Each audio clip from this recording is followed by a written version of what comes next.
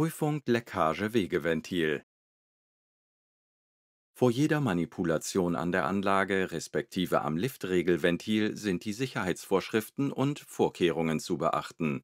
Dabei gilt es, sämtliche Hinweise und Angaben der dazugehörenden Dokumentation zu befolgen.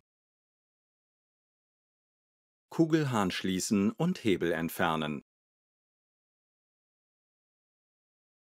Verlängerungsrohr bis zum Anschlag auf den Hebelstummel der Handpumpe aufschieben, dann ca. 3 cm zurückziehen. Kolbenabsinkverhinderung im Uhrzeigersinn um 90 Grad drehen. Handpumpenhebel nach unten drücken, bis der Druck komplett abgebaut ist. Kolbenabsinkverhinderung im Gegenuhrzeigersinn zurück in die Ausgangsstellung bringen. Beim i500 Kugelhahn schließen und Hebel entfernen. M3-Schraube am Magnetstecker entfernen. Diese in die Öffnung des Notablasshebels einschrauben. An M3-Schraube ziehen und gleichzeitig Notablasshebel drücken, bis der Druck komplett abgebaut ist.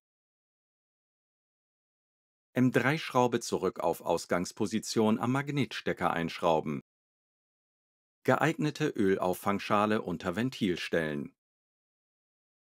System muss drucklos sein, Prüfung am Manometer vornehmen.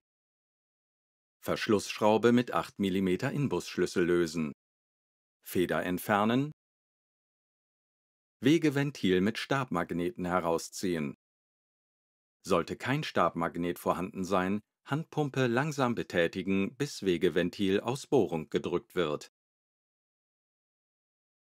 Dichtkegel am Wegeventil auf Beschädigung prüfen. Ist keine Beschädigung sichtbar, das Wegeventil reinigen und wieder einsetzen. Bei Beschädigung ist ein neues Wegeventil zu verwenden. Feder und Verschlussschraube fachgerecht montieren.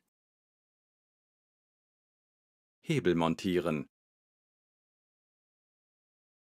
Kugelhahn langsam öffnen zur Entlüftung des Systems eine Abwärtsfahrt oder mit geschlossenem Kugelhahn für 10 Sekunden eine Rückholfahrt aufwärts ausführen.